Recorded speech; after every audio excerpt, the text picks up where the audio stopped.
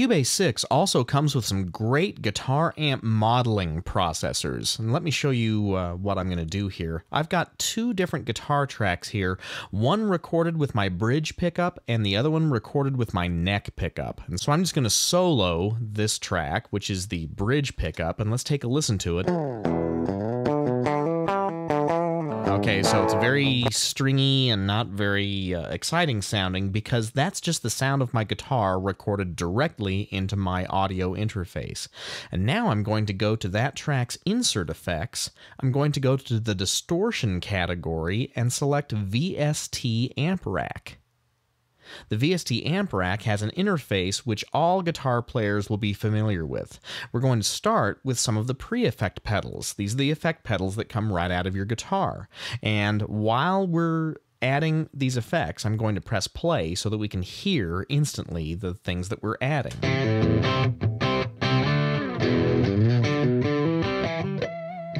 So I'm going to install a compressor click the pedal on, adjust the amount of compression, and then choose which amplifier I'm plugging that into. It starts out with a Plexi. Let's go to the Plexi lead.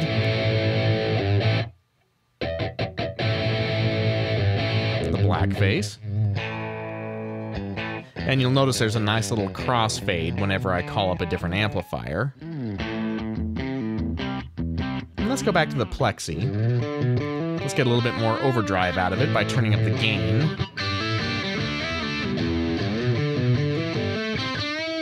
And then turning up the treble.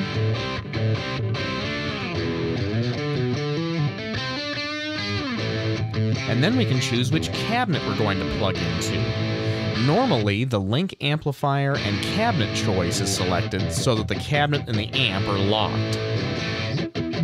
Let's choose a different cabinet. I'm going to rewind here and go back to the beginning.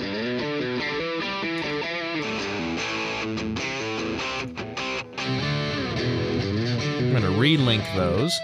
And then post effects, what I'm going to do is I'm going to install a tape delay, and I'm going to lock that in time with the tempo of Cubase.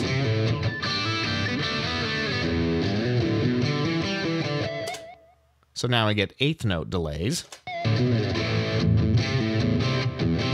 Now we can go to the microphone position and we get a choice between a condenser microphone and a cardioid microphone, the balance between those two microphones, and where they're being placed, not only in distance from the speaker cabinet, but also from an on axis or off axis angle. Let's listen to some of the possibilities. Here's just the condenser microphone. Just the the uh, cardioid microphone.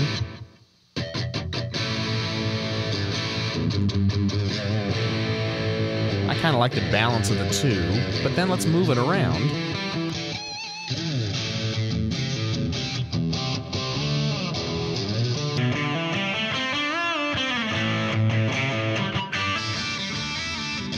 Kind of like that off-axis sound. And then on the master section, we've got a master equalizer pedal and also a tuner pedal, so your guitar player has no excuse for showing up without his tuner because you can plug him right into the VST amp rack, and then the master level.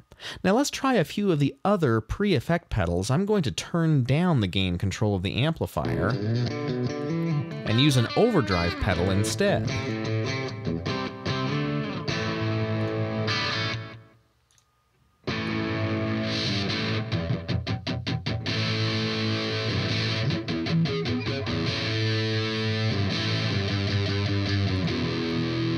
Try a different amplifier position for the microphones.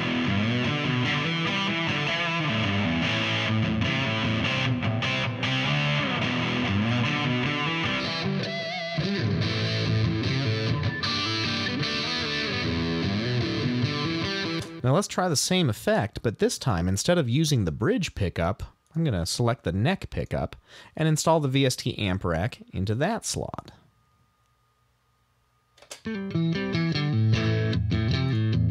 Let's choose a very different amplifier now. Let's go with a Fender Deluxe.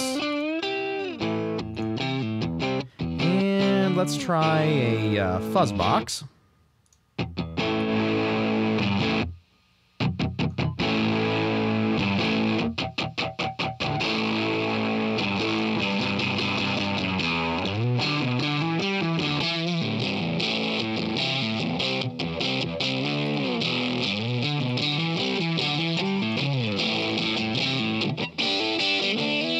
A tweed cabinet, a 4x12 cabinet. And post effects, let's use a just a straight ahead delay pedal.